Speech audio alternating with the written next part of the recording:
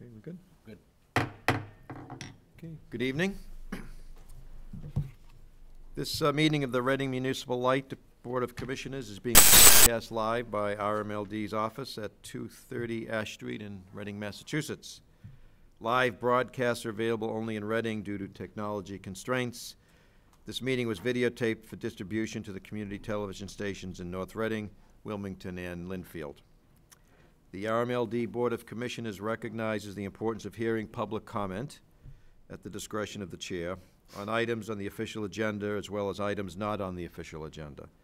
We ask that all questions or comments from the public be directed to the chair and that all parties, including members of the RMLD Board, act in a professional and courteous manner when addressing the board or responding to comments. Once recognized by the chair, all persons addressing the board shall state their name, address prior to speaking. It is the role of the chair to maintain order in all public comment or ensuing discussion.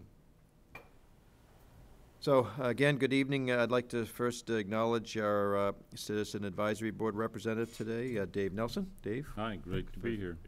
Great. Uh, This evening, uh, John Stempek will be Board Secretary. John? Yes, thank you. Good. Okay. uh, This would be the uh, opportunity for uh, public comment. Do we have anyone here to provide public feedback or Mr. comment? Chairman, Yes, Jim. one point of personal privilege. Yes. I wish to announce that I have put my name in to run for reelection to this commission for another three-year term, so. Good. going Excellent. forward. Excellent. Joe. Excellent. Good. good. Great. Thank you for uh, sharing that, and uh, congratulations. Thank you. What- This will be how many terms? Uh, Well, if there's, I gotta look, this being my eleventh term. Okay, wonderful. That deserves a little bit of recognition. Yeah. Great. The Lord see fit to set me back here. Good. Mr. Chairman, I had some Yes, sir. comments, but I don't know if you want them now or later. Uh, Sure. That would be great. Okay. Um, I was thinking the other night when, I wa- when I knew that I was gonna be at this meeting about this past year, and it's really gone by very f- quickly. Obviously, we all are aware of that. And I know RMLD has had a few challenges this year, but I think challenges make you better in the long run. And I think the good things that RMLD has done is outweighs any of the challenges that have been um, facing RMLD. And I do think that the relationship with the CAB from RMLD, from the commissioners, I think it's gotten stronger, and I want to. I just want us to continue that focus. I think it's really important that we do that. And I think you have how many employees? 80 plus employees? Uh, 72 right 72. And, and I was thinking, gee, who do I deal with at RMLD? And it's always the CAB, Board of Commissioners, or if I go to a meeting in town. But behind the scenes, you have a lot of employees that do such a great job to keep the lights on, the linemen, the office workers, the warehouse people, the technicians and all that. So I just think it's important that they get some recognition also. So I want to thank them. The CAB would like to thank them. And I was telling Colleen that I, I saw a crew working in Lynnfield today, so I stopped and said hi to them. And um, they were talking, but they were working on the LED street lights. And I just, you know, they just sort of like, well, okay, what do you want? And I said, well, I just want to say hello and thank you for doing a good job and for what you do and doing it safely. And they sort of really appreciated that. So I just wanted to share that with you. So, thank you. Good. That's great, Dave. And I, you know, I know I speak for the rest of the uh, commissioners. I think the relationship has been great. The meetings I've attended, I think they're constructive, collaborative, and, uh, you know, uh, not contentious, which doesn't really get uh, problem solved. So uh, we- we appreciate the, and and we'll continue with the good relationships that have been established here. Great, thank you. Okay, um, so, uh, next, uh, we have some, uh, committee reports, uh, that we have a fiber committee update, uh, Vice Chair, uh, Dave Talbot. I'll ta- I have- Okay, Phil will. Take it away. Good, Uh, Thank you, the, Phil. uh, Fiber committee met last night. Uh, we had, uh, some very interesting discussion. Uh, Mr. Hennessy was also present, and uh, Mr. Talbot and myself. Uh, we talked about, you know, uh, in terms of using fiber to somehow, you know, further economic development. Basically, at this point, what we determined is that we need to do some more fact finding. That we, uh, we're going to invite a experienced consultant in that'll give us information on what questions we should ask, what, what, uh, different items as to, you know, And we're looking to schedule that for the February the eleventh. I understand is when it's scheduled, so. Great. uh, Okay. I know everybody says, you know, it's a, you know, it's an open meeting, so anybody can attend.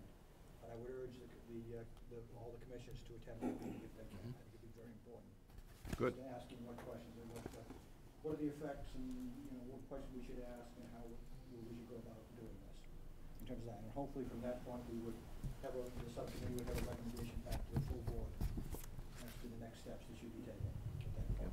No, that's great, Phil. I think that's consistent. Uh, Last few meetings, we talked about Yeah. getting some more information and uh, knowledge so we could take a, a uh, proactive, but, you know, careful and uh, thoughtful approach. So I, I think this is uh, wonderful uh, in terms of a next step. Um, I don't know if any of the other commissioners ha- would like to comment. I think, I- it- go ahead, I'm I sorry. was to say, I, I think it's a great idea as well, and just to, to clarify, we're bringing in the consultant, but it's not a paid engagement. He's just coming in to discuss the opportunities with us, so. Good. Those are the best kind. Absolutely. Uh, Can be. Completely Well, it's, uh, agree.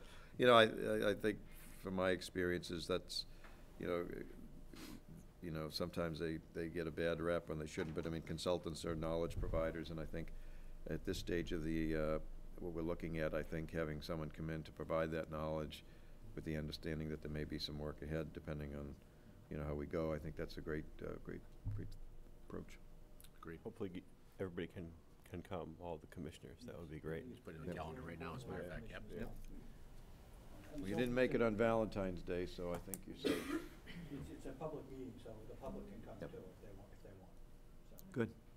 The Excellent. other thing we recommend is we recommend that the committee vote to continue the subcommittee. So we- February 12th. So we can actually have the meeting.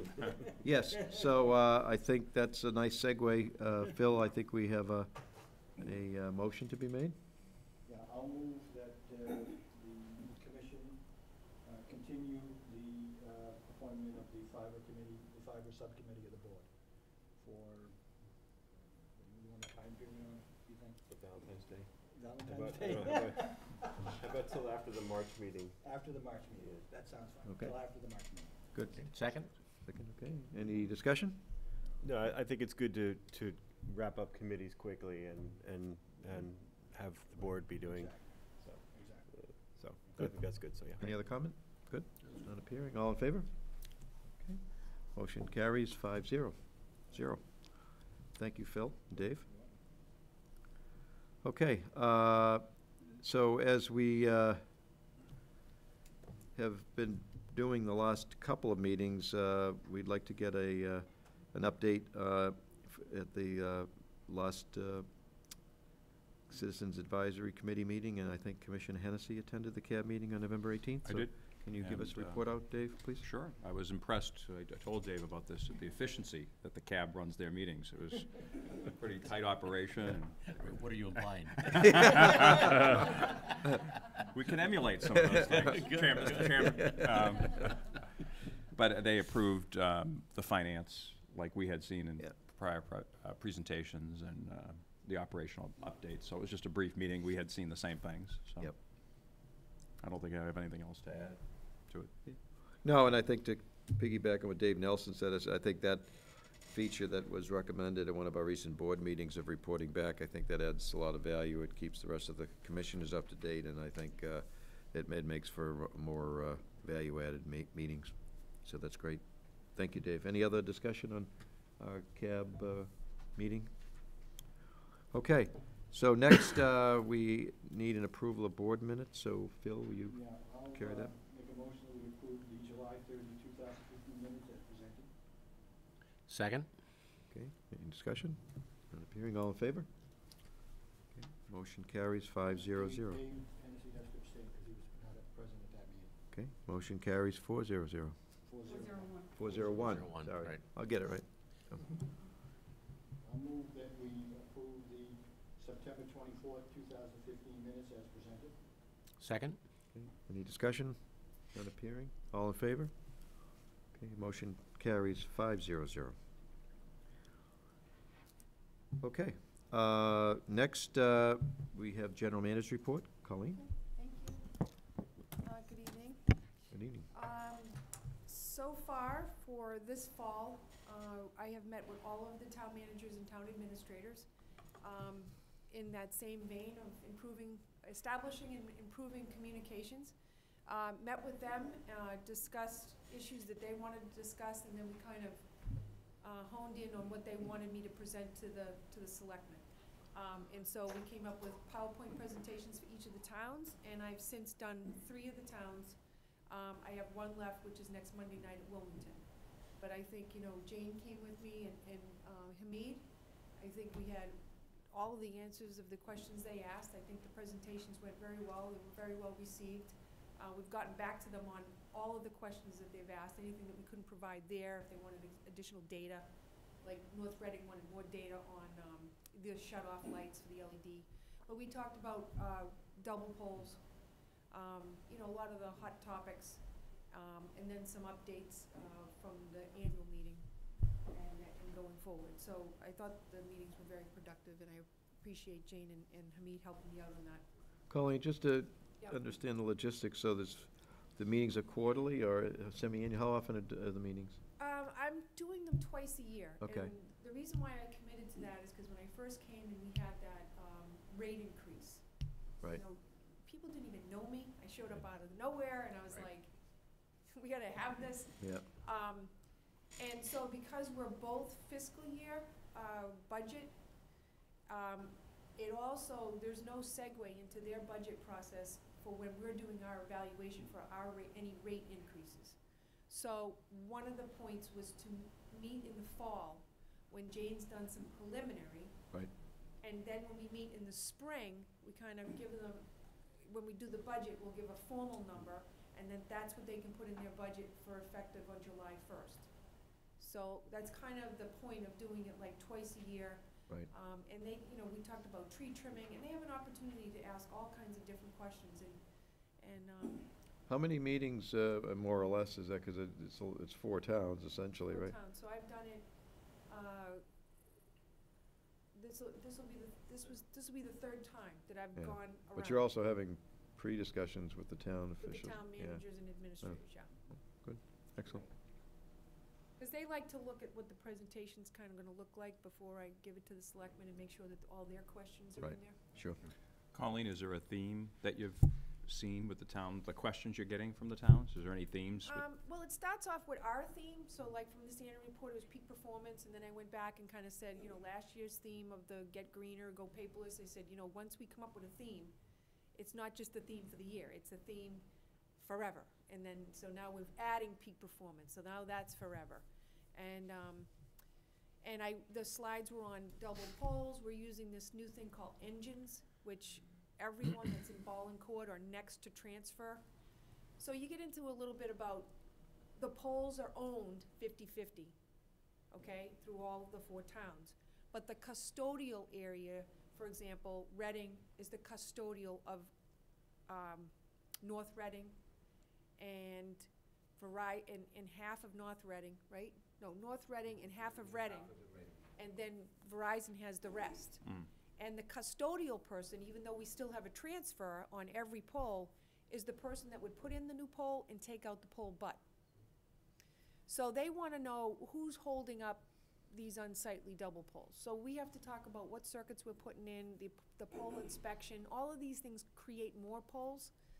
And, you know, now that we have a list that they can hold people accountable, you know, um, and I told them, I said, you know, I'll get the list and there'll be a bunch of RMLD, I'll have the guys in the two days before I come talk to you, and we'll get them all done, and then I'm zero.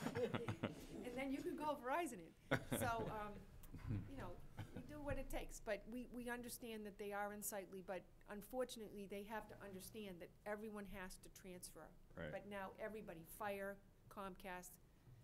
So if something's sitting on their list for twenty days, it's, you can say, hey, you know, let's go. Right. So there's accountability. The, the NJUNS is not as accurate as we'd like to, so Davies, that's going out and collecting the information to build our GIS, is providing more accurate data to build this, and Verizon supposedly is doing an audit for other reasons. So we're hoping to make this accurate fairly soon, at least by next year. Thank you. So that's kind of what we talk about. they all talk about the pipeline. They all hammer Jane about the pipe, you know, the pipeline that's coming through and how it impacts RMLD or what we think about, you know, whether we really need a pipeline in this area. So we try to stay very, um, politically in the middle, right? Neutral.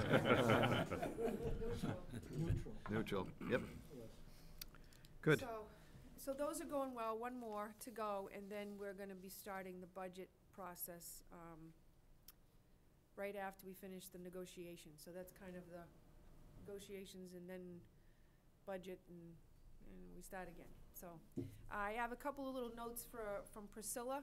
Um, we had the, the holiday tree lighting, which a lot of those lights are donated by RMLD. I thought the square looks beautiful. Yes, It does. And, Ec- um, excellent. Down on Haven Street, we had, um, we had some of the customer service out there, and we were explaining all of our programs, and they were selling light bulbs and holiday lights for the trees.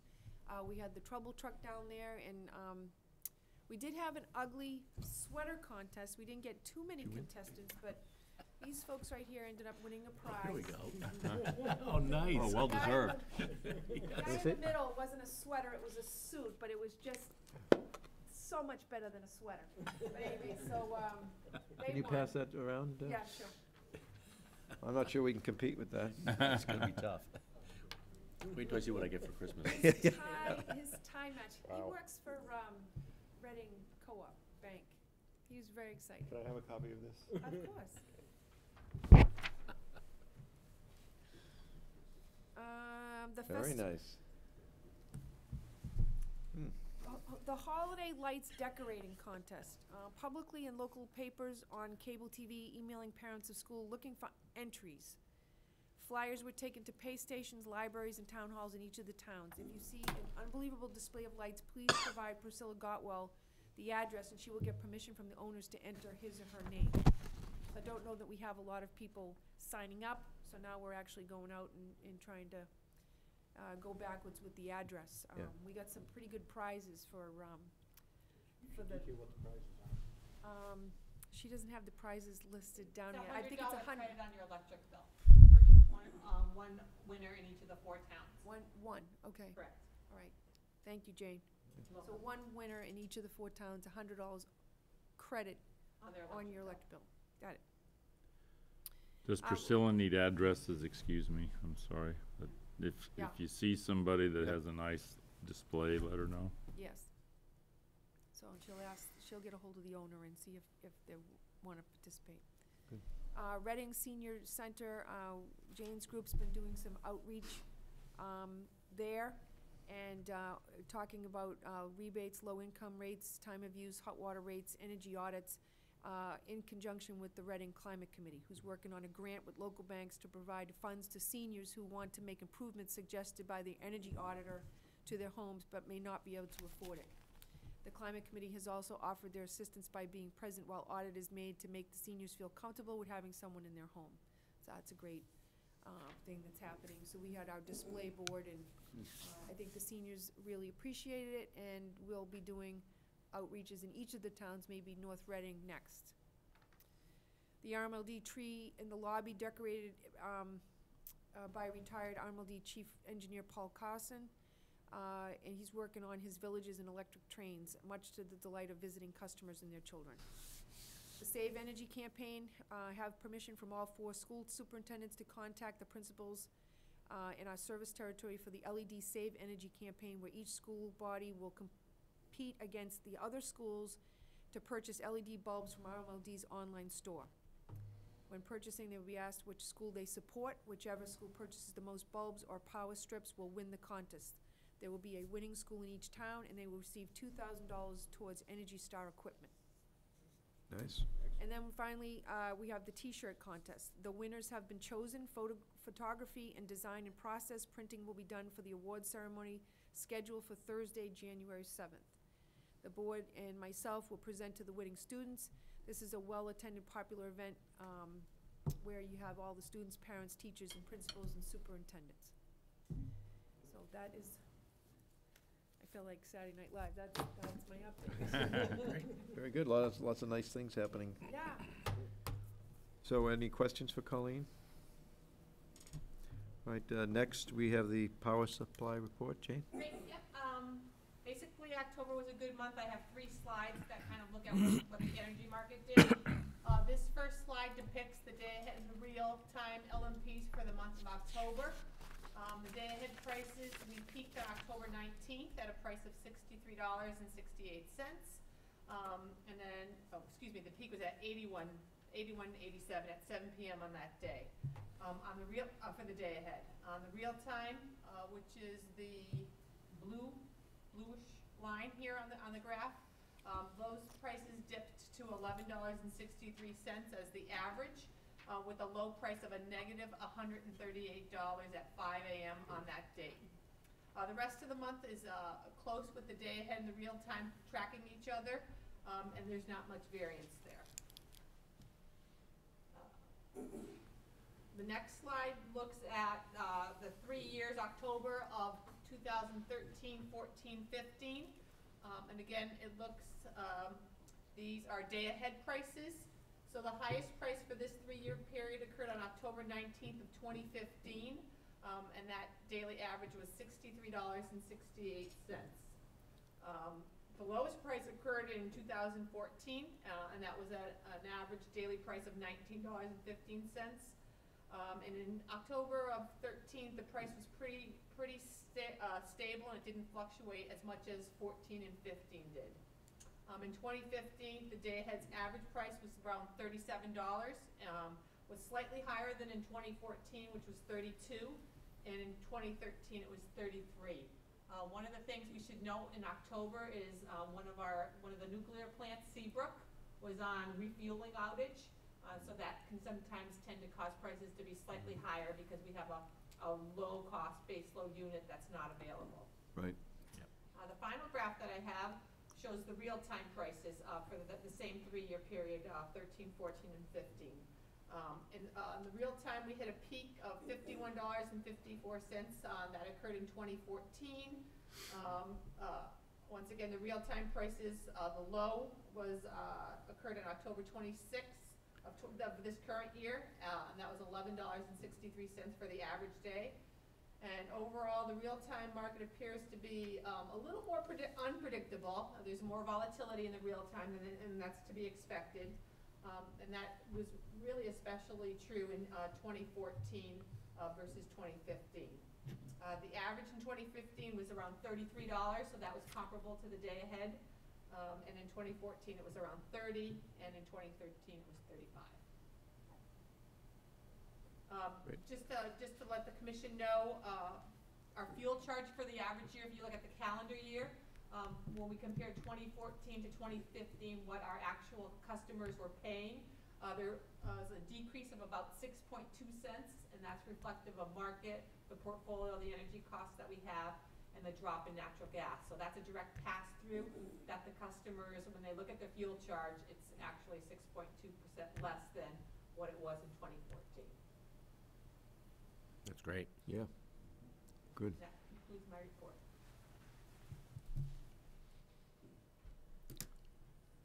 Okay. So next, uh, we have the commercial lighting program? Yeah, um, um, today I have two of my integrated resource engineers that are gonna present to you. Um, Tirza Shakespeare has been with the company for about three years. Um, she started off as the key account manager, working with the commercials, and we've kind of restructured our area. Um, and with her is Raul Shaw, and he's, uh, focusing on the energy efficiency program, and Raul started with us in May of this year. Um, Good. so, Welcome. Yeah, welcome to both of you. Thanks Thank for very coming. With the permission of the board, I would like to speak. Yes, please. Good evening. Uh, My name is Rahul. I'm the Integrated Resource Engineer uh, in the Integrated Resource Department. And uh, do we have? Yeah. Okay. We'll see- Sorry.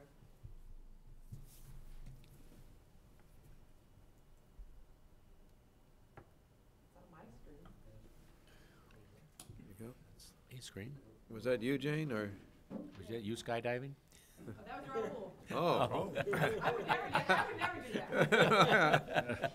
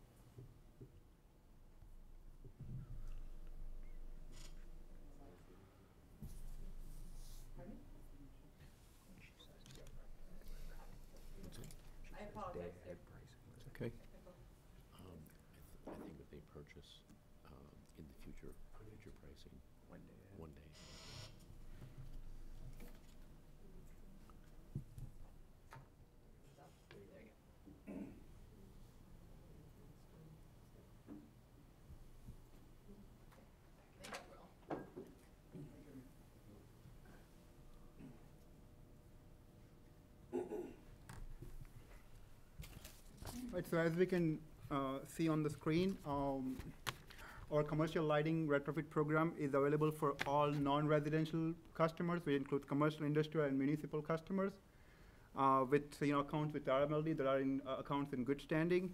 And we have a very customized approach where, uh, with, with almost every lighting project where we work with the, with the customer from beginning to end, sort of walking them through the entire approach, so they also feel connected to us. At the same time, you know, if they have any question, we are easily reachable, so there is no ambiguity or there is, you know, nothing that uh, they don't know about.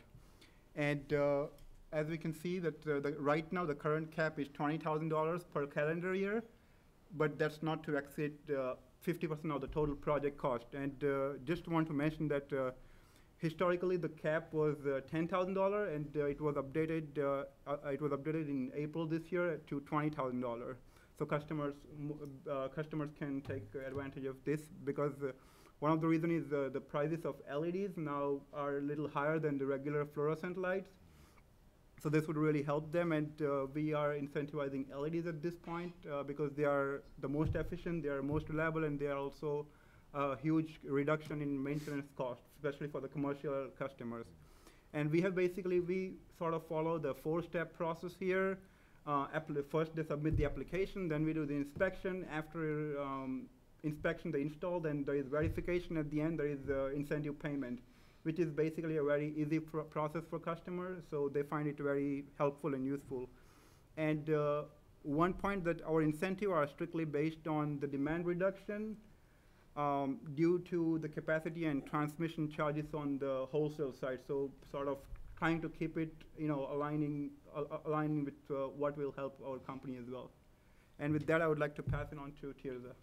Thank you. Thank you, very, very good. Good evening, I'm Tirza Shakespeare, and I will be speaking on the program as well. Um, Just to follow a note of what Raul was speaking to, um, our program covers LED products that must be Energy Star certified. Um, For our grants and uh, program updates, just a little bit of background as to the update that we went through in uh, April of 2015.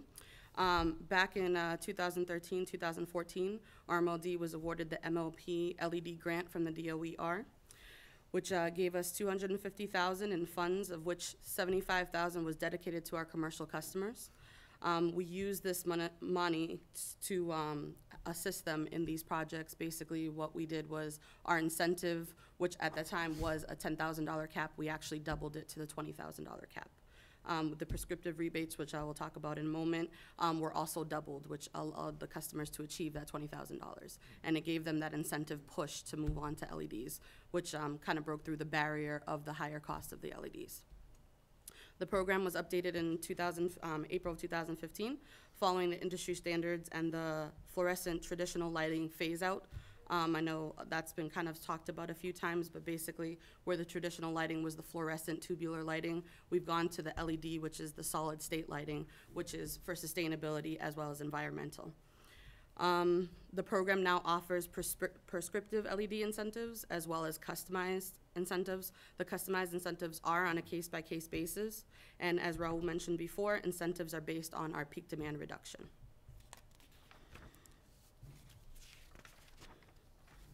And here you have our standard table of prescriptive incentives. This is available on the RMLD website for all our customers. This kind of has a broad spectrum of LED categories, where right now on the market, there are a lot of LEDs available to the customer. So unfortunately, we weren't able to list every single one of them, but we like to give them categories so that they understand how to qualify.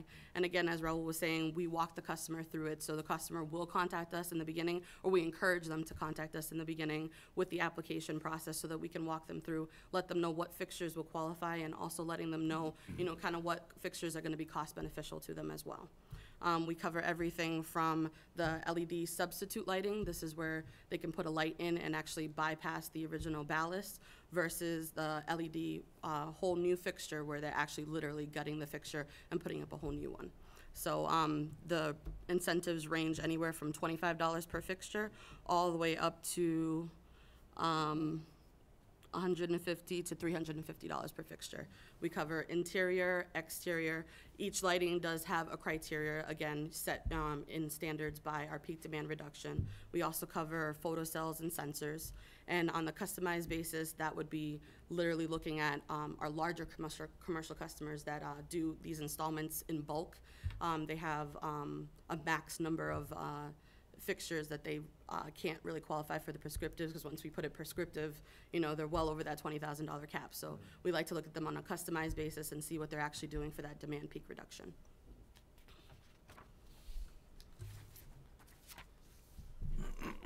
Um, And here we have some numbers from fiscal year 2015. Uh, As you can see, more than 30 commercial and industrial customers parti- participated in the, in the program.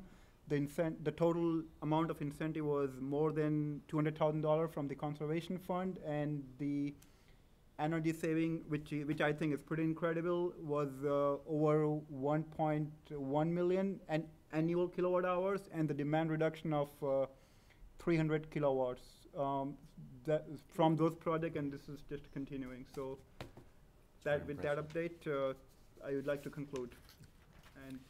And Can I ask a question? Yes, uh, please. Uh, do you find that, um, there are more industrial or commercial, uh, or retail customers, uh, that are taking advantage of the program? Is it weighted one versus the other, do you find? I would say um, a lot of the commercials definitely do take advantage a little bit more often than the industrials. Um, the industrials, not to say that they won't, it's just usually they um, usually are not aware that there's an incentive because they're doing it more on a maintenance basis. They're doing it to cut costs on their end and not even realizing that it's actually an energy efficiency practice as well. On the smaller commercials, they are looking at it from the maintenance standpoint, but they're also looking at it from cutting costs on their electric bill. So they are looking at it from energy efficiency standpoint. So definitely, um, we have a good amount of small commercials, but definitely that medium-sized commercial is the ones that take advantage of the most. Seems like a great program. I mean, I- Absolutely, I yeah. can't believe that everyone wouldn't take advantage Right. of it, right? that's why we are trying to, uh, we are trying to work uh, more diligently with every customer. And I personally take that opportunity to create a relationship so that, you know, even if they're doing anything else down the road, they can still contact us and sort of, we can stay in touch. Right. And to speak to Raul's point, that's exactly how we initiate relationships. A lot of times we'll have a small commercial customer contact us, you know, based off of um, their bill. They want to see how they can reduce it, and we'll mention lighting because it tends to be the low-hanging fruit for them. And they keep on with that relationship. They'll come back and say that they have a rooftop unit or a compressor or any type of HVAC equipment, and they want to know if that qualifies. And we let them know, absolutely, that qualifies as well. So we Wow. have a couple of different programs, but the lighting program is definitely our biggest segue into all our other programs. That's great. That's great. Yeah, so Tirzah and Raul, that was wonderful. Uh, I agree with John, and it's uh, very positive. Is, is there a, a piece of this where you actually go out to the customers, or is it done, uh, you know, wh- how does, how do you work it? Do you actually do site visits to the customers? Is that? Actually, um, she can speak more, but I, I think it's combination of both with, with the customer that we already have existing relationship. Yeah. For example, if I'm, if I go there for a meeting and if I see some old lights, I mean, I would just, you know, probably bring out the question and understand what, Yeah. what they're currently doing. Mhm. And if it's a new customer, they come to us and, you know, we create the platform and then take it from there. Um, and if you have more to add Yeah, on that. absolutely. As a part of our uh, validation process, um, I- I like what Raul was saying, if it's a newer customer that we haven't had a relationship with, we do take that opportunity to go out and we'll take a look at their lighting because we do want to verify what was existing. Um, Even if it's a new commercial customer where they're doing a new build, where there's nothing existing, we'll take that opportunity to meet who the facilities managers are and beca- uh, give an RMLD presence there. Um, But we do, absolutely do, we do an- a pre-inspection and a post-inspection. So a lot of times we'll only waive an inspection if we have a pre-existing relationship with the customer and there's photos that they can verify the, the work was installed.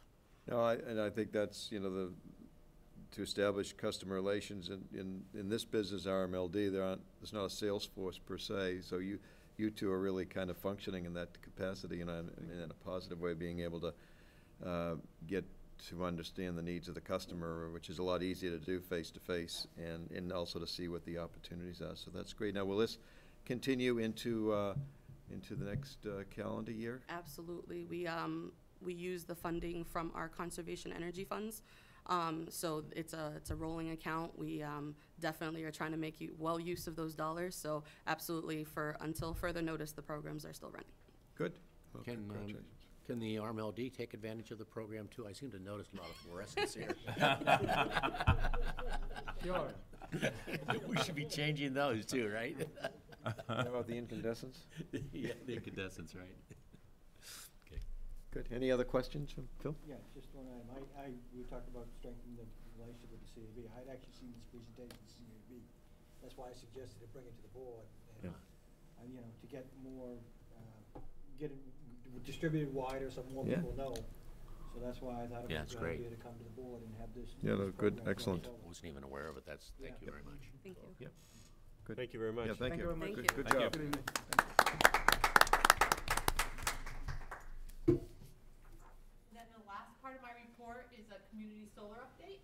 Okay. Um, Should we dim the Tom- lights, or you? Nope, Okay. nope, it's just, Okay. it's just one slide update. Okay. Nor- Um, Tom Malillas been working diligently on this. Um, he's been on jury duty, um, so that's why he's boy. prepared the slide and I'm updating it for the board. Um, but we're looking at a solar choice program. We're gathering information from, uh, the Mass DOER, the MAPC, consultants, developers, and other munis on, uh, community solar concepts. Uh, we've selected Power Management as our community solar subject matter expert, and they're helping us immensely in terms of putting together the project specs, um, helping us with the RFP to go out, um, helping us with setting up criteria to do the evaluation, project management, et cetera. They've worked with several uh, municipals, not necessarily municipal light plants, but they've worked with the cities of Randolph, Quincy. Um, the list is endless in terms of soliciting uh, for solar power and having them put on municipal buildings such as schools and town buildings. Um, so they've been extremely helpful with us in terms of helping us through the process. Uh, so right now, we're in the process of finalizing the project specs, um, and, and with the hope of issuing the RFP to select a solar developer, owner, operator. Um, the, the, the- ultimate winner will be owning the system, so they can take advantage of the tax incentive credit, uh, credits, and as a utility, will take the off, off take of that power.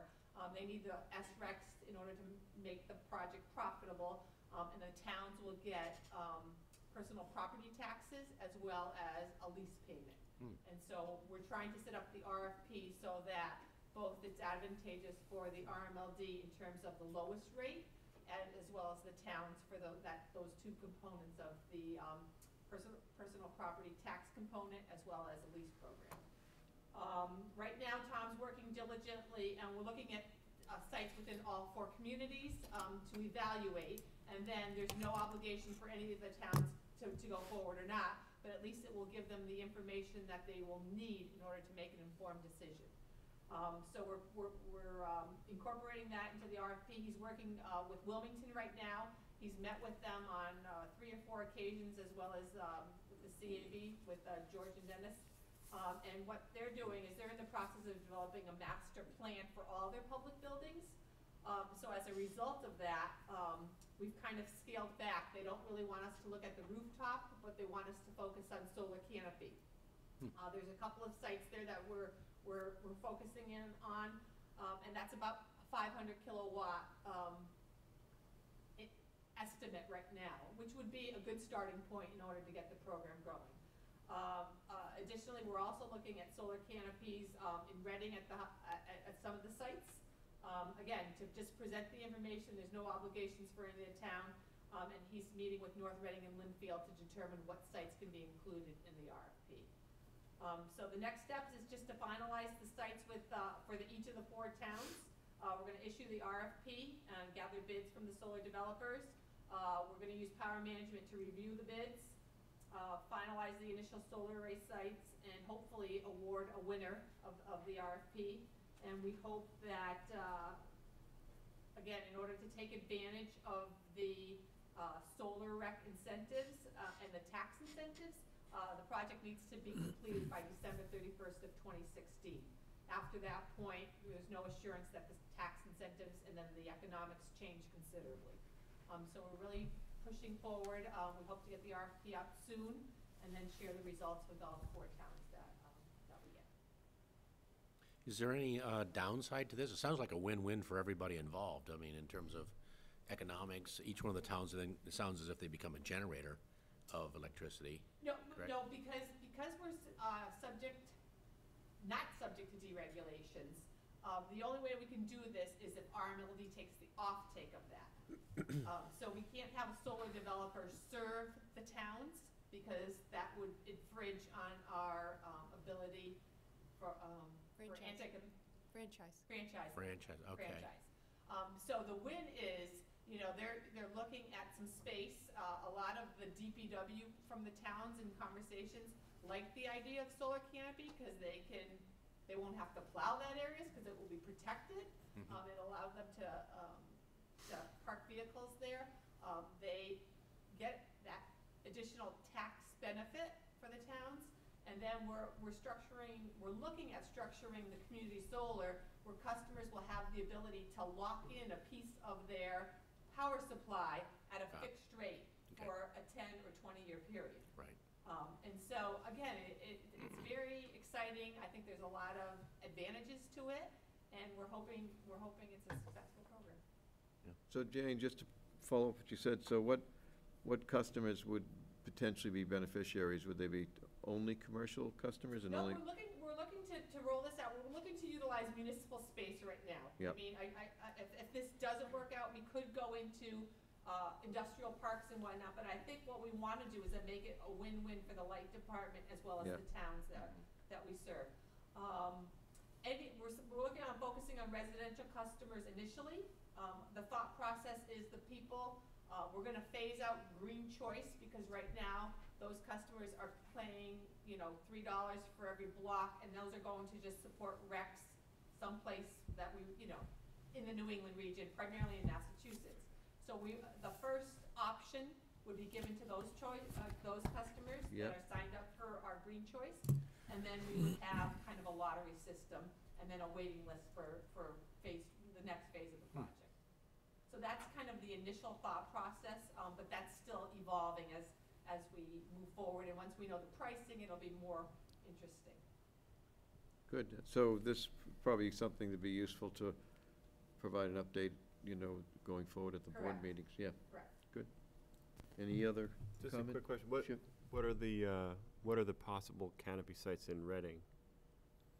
Um, I think when we initially talked, when, uh, cor- when we were working very closely with the MAPC and they were uh, evaluating some initial thoughts, um, I think they looked at the high school and they also looked at the train station, uh, those, and then they also looked at the Burbank Arena.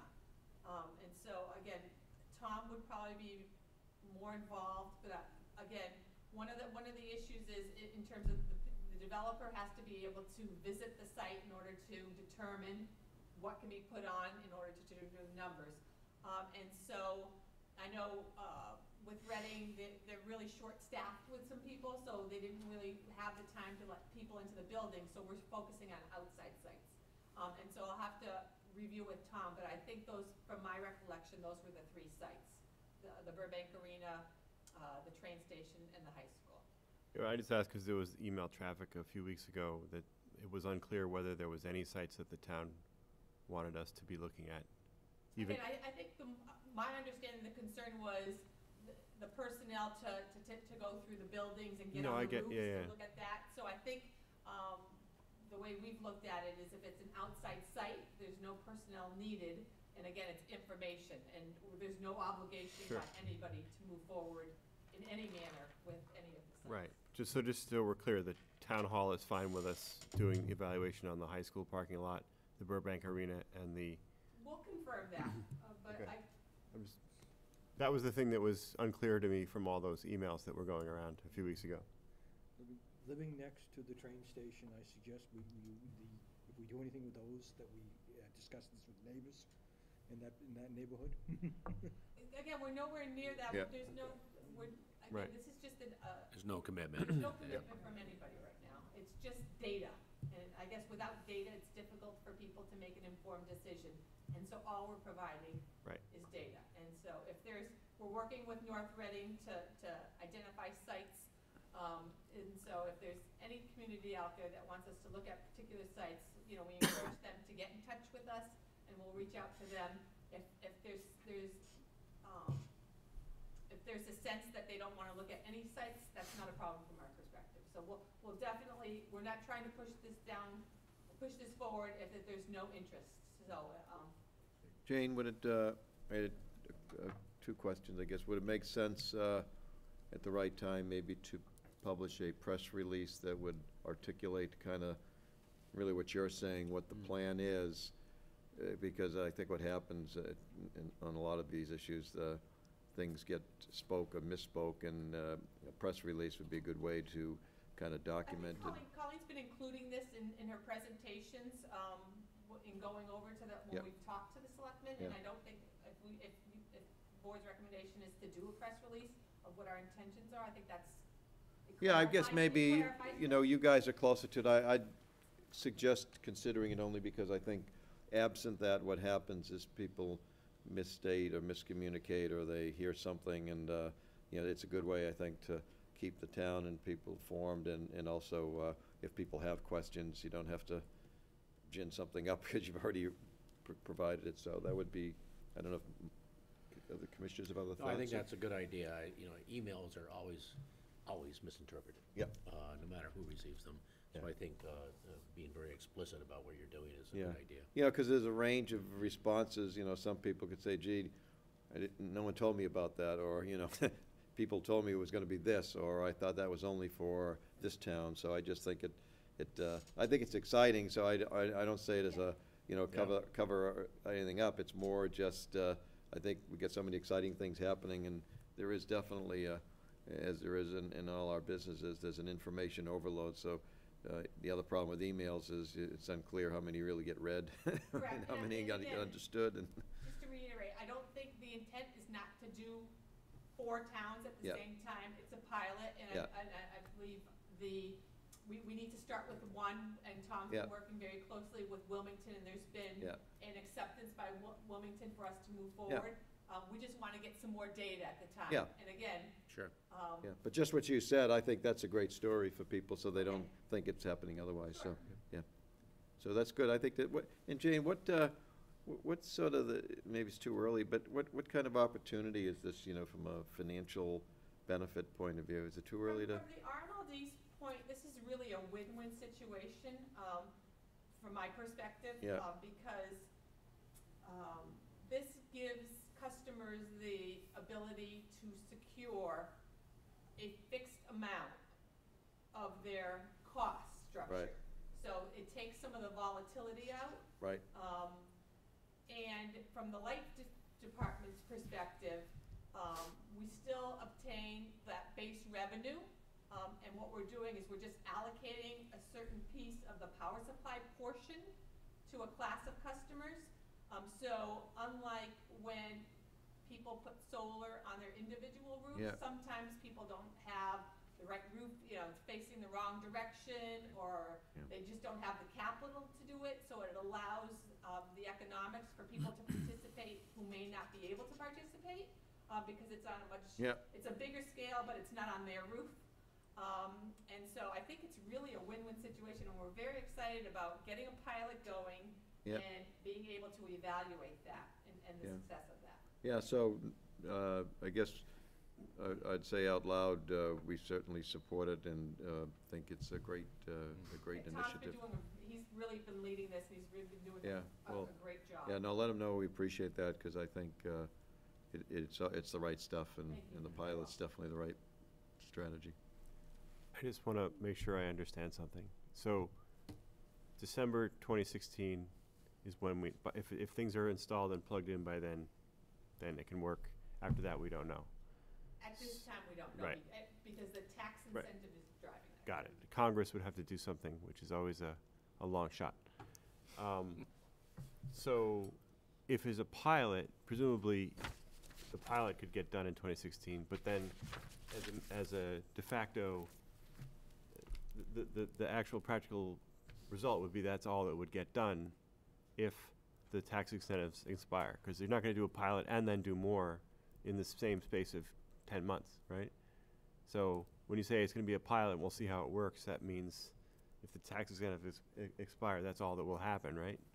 If it, if, the- if it expires, it may not expire. Okay. I mean, I, it- something may occur to put it in Right. place Well, it depends on the timing, right? I mean, Correct. uh, if the pilot works, then you don't need to do four pilots.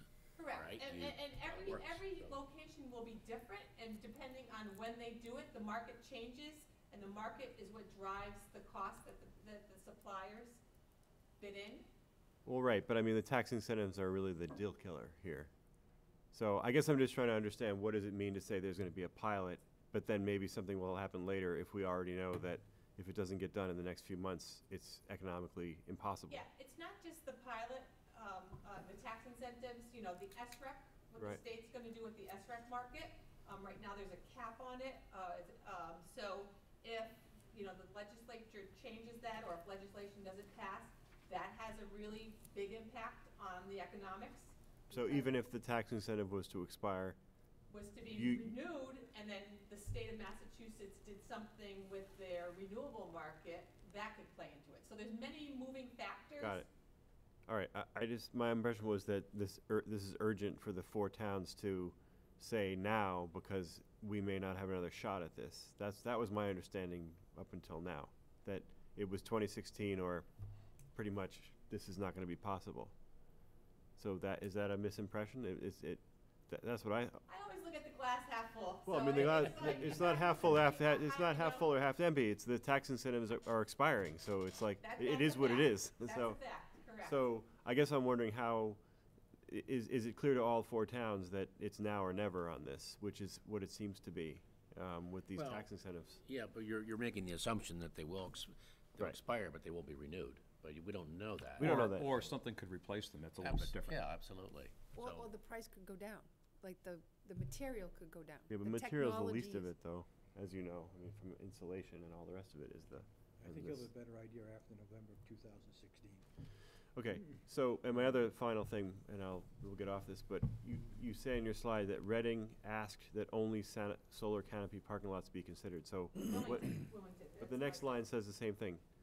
Reading asked that only solar canopy parking, Minimize the town's facility staff Right. and time involvement. right, so Reading has asked that only solar canopy, so Reading has asked, Tom's been working, Okay. and Tom's been involved in this, and I apologize, um, that he's not here. but Okay, so He, that- he, he created the slide for, for the Okay. presentation today. all right, so I just wanna make sure, cause I, I'm only asking because we had a whole bunch of email traffic a few weeks ago, and the town manager was, it sounded like didn't want, didn't wanna do this anywhere in the town, which is perfectly fine for him to say, but I'm, that's different than what that says, which is Reading asked that solar canopy parking lots, you know, would be, would be considered, it's what it says, so I'm just trying to understand what's going on is, in Reading. Uh, Tom perhaps could address it in our next meeting. Correct. Yeah. Yeah, Or clarify with an email later, because there was a whole bunch of people that wanted to know the answer to this, and I thought we were gonna get some clarity tonight, and now it's like, we don't have the clarity, so it would be nice to get. I apologize. That's for that. okay, I mean, it, it- it's just, that's the, that was one of the key questions that was not clear, was, was there an open lot that Reading was okay with us getting a price on? When So- is Tom off jury, any idea, duty? Uh, the judge had told him it could be a two to three week trial, um, so, um, I'm in touch with him though, and I, I, I will clarify that. Yeah, why don't we get, I'll have Colleen get back to you. yeah, and I Okay. think to John's point, I think since this looks like, you know, and I, I agree with Dave and John in the respect that I, you know, th- there's lots of things in play, so we don't wanna, on the one hand, we don't wanna, uh, uh, we don't wanna miss an opportunity, so the only way you can do that is with the facts before us, uh, here's the situation, and let's get things moving. So I think Tom is probably someone that maybe in a future meeting could come and, and, uh, when we do an update, could also provide that, but, uh, if you can answer that, that'd be great, Yeah, Jane. no problem. Okay, good. Dave, any other things from your? Oh, it would just be good to know what the answer to that question is, you know, where does Reading stand on this? And that's what I did, we didn't know before, and I guess we still don't know, so it would be good to find out. Okay, good. All right, any other questions? Uh, Jane, did you have anything else you wanted to? That completes my report. Okay, Thank excellent, very thank much. you, thank you, it's good stuff, all good stuff. Uh, Hamid, front and center? Front and side, I'm sorry. Front and side, right? You're gonna do the engineering report, right? Oh, yes, definitely. Good evening. Good evening, Hamid. Hello? Okay. Control panel, project, projector. display projector. There it is, yeah, it's, um, Is that right? Yeah. is- I don't know how you. Oh, I see, yeah. That's what it, page Just it, one, one page out of uh, sync. That's The all. second, right. Yep. No.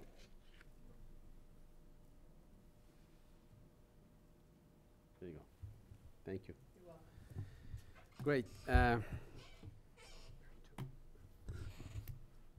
Capital improvement projects, uh, we got three categories, construction projects, uh, new customer service connections, and special projects. So uh, on the right, you see the percent completion status for uh, those projects. Some of those are near, they they were near c- uh, completion, uh, and some are ongoing, and the other ones, as you see, like uh, the 4W5, 4W6 tie on Summer Street in Reading, they picked up. So uh, those are all the dollar values that uh, happened in the month of uh, October and year to date on the far right column. The next uh, slide uh, talks about uh, routine construction, which in the month of October we spent about uh, $132,160, that bringing year to date to $500,437.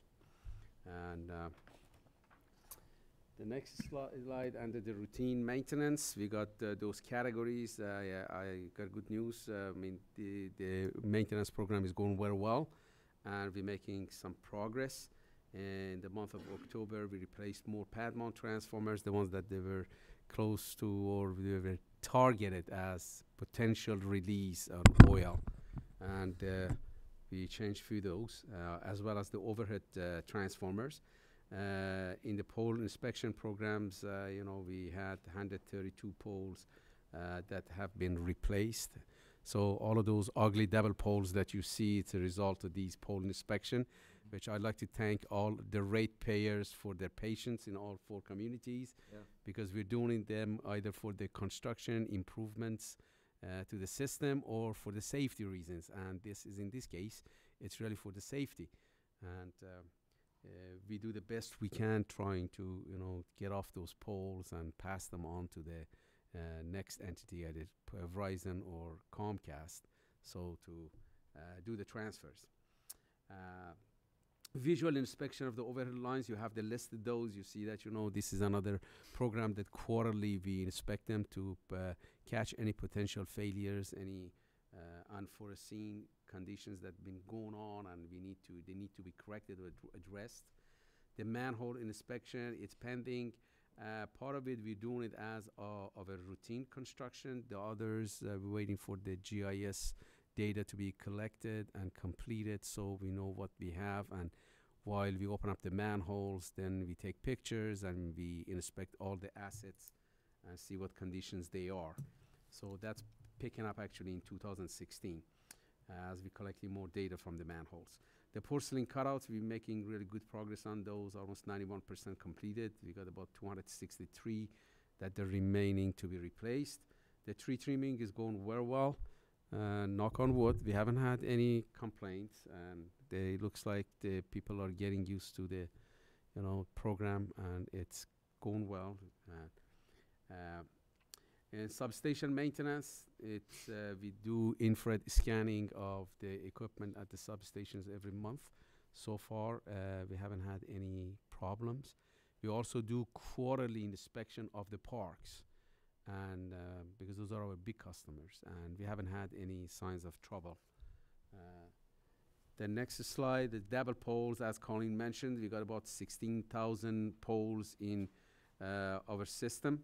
35% belong to RMLD, 65% to Verizon, and uh, while RMLD has the custodial of the poles in Reading, half in Reading and North Reading, Verizon has the custodial in Lynnfield and Wilmington. Uh, the next poll shows that uh, the program that we share with Comcast and Verizon NJUNS, uh, basically for every town, Reading, North Reading, Lynnfield, and Wilmington. In Reading, it shows that we, there are 69 double poles or 60 poles, there's 61 that needs either transfer or needs to be removed or, uh, you know, for uh, other various reasons they've been uh, installed. Uh, we got 18 in North Reading, Lynnfield, we got 26, and Wilmington is uh, 206. This is a dynamic process, really. As much as I know everybody would like to know exactly how many poles, double poles you have, I mean, because we are going as we adding uh, to the system, to the plant value, and we are making improvements to the system, you're going to see these numbers fluctuating. So it's not like, you know, in one snapshot you could tell exactly how many poles you have. And plus, some of the poles that you see in that category, they're, they're sole owned by Verizon. And, you know, those are the ones that, you know, well, there's nothing to do with us. But as you could see in those categories, the ones that we need to do the transfers, we pretty much are uh, catching up with other transfers.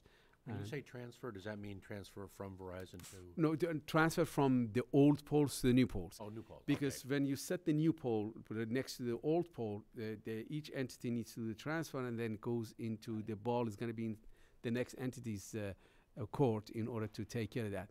And immediately, my guys, uh, the staff, the, what they do, they do the transfers, the one that, that they, they need to be done right away. And they, they start from the oldest getting to the newest that, you know, they have a system that, you know, in place to take care of those. There are not many of those that we have. Mostly it's Verizon. We don't have any control, unfortunately, in Verizon setting programs for them. They're trying to get out of the pole business, and then you know that's another subject. Uh, so, um, uh, but we're maintaining the ones that you know we we are responsible for, again for public safety and employee safety both. And uh, it's a good program. I'm really proud of that program. I'm glad we started that, and it's it's it's, it's great. Uh, so, Good. so this any questions? Great. So that's the engine programs. The next slide, basically, you see the uh, reliability indices, SAIDI, CAIDI, and SAIFI. Uh, unfortunately, we exceeded the regional and local indices, and the reason for that was that uh, August 4th and 5th storm that we had uh, some damages to the lines and our infrastructures that made in Lynnfield area and Reading. So that's why the numbers jumped up. Uh, I compare them always to blood pressure. You know, when you go to doctors and all of a sudden your blood pressure, you get nervous, it goes up. and so these are the blood pressure of our system basically. With one shock, they go up, they all go up. And uh, then they come back down. Uh, so Was this from like branches and whatnot? This is the down? two trees that they came, huge trees that they came down uh, on Main Street. Yeah, and Sh- uh, Ave, Ave in Re- in, uh, in uh, Lynnfield. On Lynnfield. Basically, that's where the big damages were. But they stayed out for almost, you know, some customers almost to two days. And they had So- those old Verizon poles. They have the old thing. Verizon poles that, you know, again, we haven't been really maintained. Uh, like what I said, Verizon doesn't do the maintenance, and uh, I'm grateful that you know we have that opportunity, and Colleen has given us permission to really to uh, go ahead and you know for the safety, mm, inspect the poles, and continue along those lines for public safety. Yep. So, and that's why we implemented the, these uh, uh, maintenance programs just Sure. to protect our assets and make sure uh, that you know the, the public safety and employee safety are not jeopardized. So basically that's that's the story for those. So the solid colors, the pink that you see in previous slide, as much as Jane would like me to uh, fast forward. She's anxious, you know, you could tell that. you know. So as Bob. Bob is sitting right corner. but the solid colors that you see pink, it's without the storm. If you take the don't take the, the storm data into account, and uh, those dash boxes right on top of those are representative of what the numbers would be if you include the storms. So that's the story for my indices. I guess you can go to the next now. Thank you. Uh, the next slide shows uh, basically the orange houses, which the majority of the equipment, trees, and the wildlife. We have increased the wildlife uh, installation the system, but like what Colin explained uh, the other day very well, although we covered them, but you know we covered them for squirrel contacts, but the birds they find a way to go through the holes, and you know they so you there's no win with with those, but we try to do the best we can trying to cover all the exposed parts so save animals from electrocution as well as you know reliability of the system so basically that concludes my report if you have any questions i'll be more than happy to answer those questions if you have Uh, Any questions, Uh, Phil? I wanna bring up. I- I noticed in, and I heard in the news that Braintree, a a pole actually fell over. So I think it's very important that we keep the pole inspections going. Yes I believe in the town of Braintree, a, a pole actually just fell over, collapsed on its own Wow. in their Wow. system. So, and I saw that in the news that caused a major outage, I believe. So. It's very Yeah, and that's, important that that's why keep we're poles- concerned about the Verizon-owned poles in there if we're not getting the right level of maintenance on the Exactly. poles. Exactly. Where's the liability lie? I mean, is it with The general Verizon? manager himself was on the TV, Is that right? yes. Mr. Chairman? Yes, can I- yes, go on. Um, So Hamid and I will be doing an update on the organizational and reliability study, the Oh, recommendations. right, right. In January, so just to let you know Right. that's coming. Oh, good. Okay. And uh, also to ask permission, is- since Hamid's sitting up there, do you want to jump to the bids and just get them out of the way? Sure. Sure. Bob, you're okay with that? Okay. I'm fair, I've let Bob go ahead Yeah. before, right? Yes, no, I think that works well. Okay. Ready the motion, Mr. Chairman? Yes, please, Phil. Okay, move that bid two thousand sixteen thirteen for the sale of surplus electric meters be awarded to Vision Metering LLC for a total cost of eight thousand eight seventy-three and fifty cents. Second? Okay, discussion? Any questions for Hamid? How many meters is this? There's 17,000 meters uh, total together, uh, uh, almost. And uh, we had 10 bidders. Four were uh, basically they submitted the bid. Two of them were disqualified because they didn't meet the requirements, like the bid deposit, and one of them came in late after 11 o'clock, which was uh, disqualified. But two were qualified, which were very close the prices. One was 40 cents a piece, the other one was 50 cents a piece. So the bid is going to the highest. How much was the one who was the day late? I'm, I'm not sure. I don't have that data. I once they disqualify, we don't. We just put put them aside. The one that you know for, uh, I think there was one that didn't meet the qualifications for a bid deposit. I don't uh, exactly remember how much was that. But okay. How much do these cost new? the cost of the new one is are there. Well, back then it was like twenty nine dollars, thirty dollars each. Uh, but now we go to the in the different generation, which is AMI, which the price could vary anywhere from 150 to 300 dollars, depending on what, uh, a from 80 dollars to 130 to uh, 250 dollars, depending on the type that you know you select and the application for commercials. So, but I'd like to get rid of these, so we have we open up some spaces because I, I'm replacing the breakers at station four. These are obsolete breakers that need should have been replaced 10 years ago, but now we're getting to them and trying to replace them. I wasn't here 10 years ago, so so, but uh, we are uh, going to be replacing this week. Uh, actually, for the next two weeks, we're going to be replacing uh, 27 breakers, upgrading them to Siemens breaker. These are the best, which is safest, and you know that's going to uh, increase the re- reliability and the safety. And I need to store those in place of the meters. That's why we get rid of these sooner, so we can open up space for the Barbers building. Uh, Any other discussion? Are we ready for a motion? A vote? Okay, all in favor? Okay, motion carries five zero zero. Thank you. Okay, Appreciate it. thank you, Hamid. Thank you. Okay, Bob, you're on. The financial report.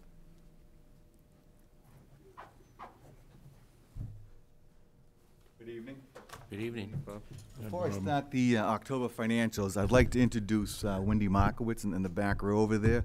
I believe some of you have met her at the uh, last CAB meeting. Um, Wendy works for me as a senior accountant, and she's been with the RMLD uh, for over four years. As part of her career development program, uh, she'll be presenting the uh, financials going forward. Oh, And, Great. uh, you know, I have no doubt that she'll do a fine job, and you guys will probably appreciate the change anyways, too. Welcome, Wendy. Turning to the October financials, which represents the first four months of this fiscal year.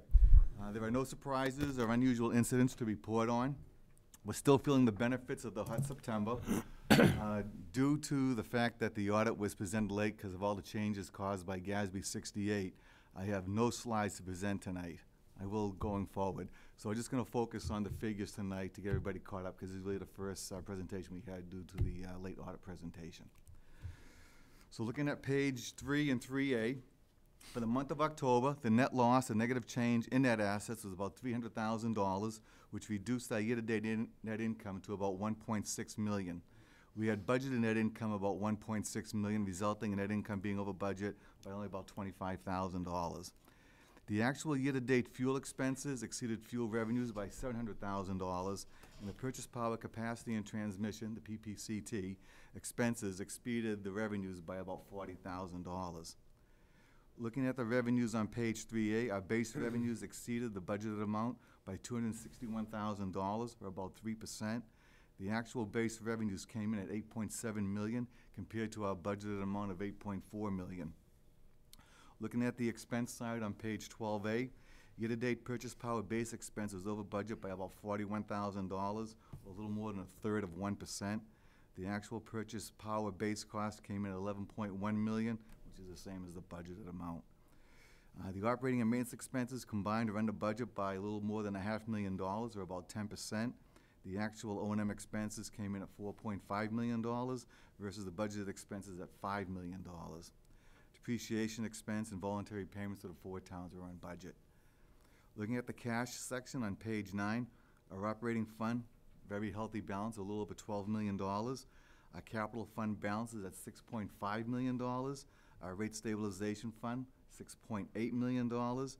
Deferred fuel, about four point four million dollars. And our energy conservation fund is a little over seven hundred thousand dollars. On the general information side, looking at page five, year-to-date kilowatt-hour sales are about, are at two hundred and fifty-seven million, which is about eight point four million kilowatt-hours, or about 3.4% ahead of last year's actual figure. Here again, the benefits of that hot September month. Looking at the budget variance, cumulatively, the five divisions are under budget by a little more than a half million dollars, or seven point one percent. So overall, the first third of this fiscal year, uh, we're we're starting off strong.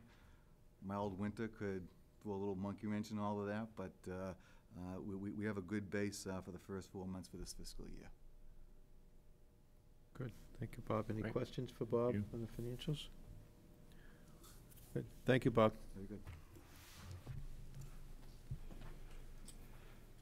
Okay, uh, Actually, I had one question. yes, Uh, I just found it. for Bob. And I, I noticed the, in the, in terms of the operating expense, the operating expenses, the line for energy conservation seems to be so much less the actual than the budget. Is there any particular reason why that? If you don't have the answer tonight, if you can get it to me afterwards, it'd be fine too. The actual is less than the budget? Yes. We just haven't reimbursed, the the timing thing, I don't- I'm not sure what the status is of how many we have pending in the hopper. Okay, Uh, timing, okay, fine, okay, very good. Okay, Great. Good. Thank you. Um, Any other uh, discussion items? Uh, We have uh, board meetings uh, coming up again, so I know you'd be happy to hear that. Uh, Thursday, January 28th. uh, So that'll be 7:30 as usual, and then Thursday, February 25th. As Colleen said, the T-shirt award ceremony is Thursday, January 7th. Um, Do we, that's held here, right?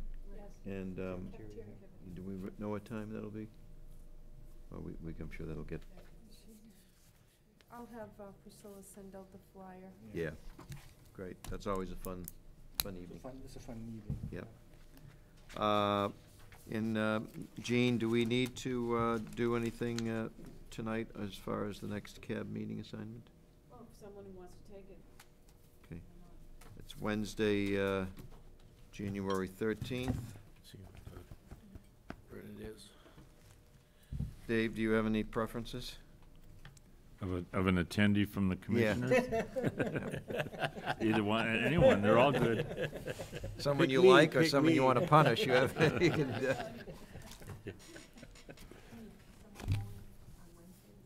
Uh, January thirteenth, you said? Yeah. uh, January 13th, yes. Yeah, I'm gonna be out of the country, so Okay. I'm going to Oh, eliminate sure. myself. Where are you going? It's a good excuse. Aruba, yeah. Oh, that's no excuse. Yeah. Who's up, whose turn is it anyway? It's probably my turn, but unfortunately, I'm not gonna be here, so I'm gonna have. Do you to pick want up one of next us to pinch it for you in Aruba and you can No. do that? I can probably do it.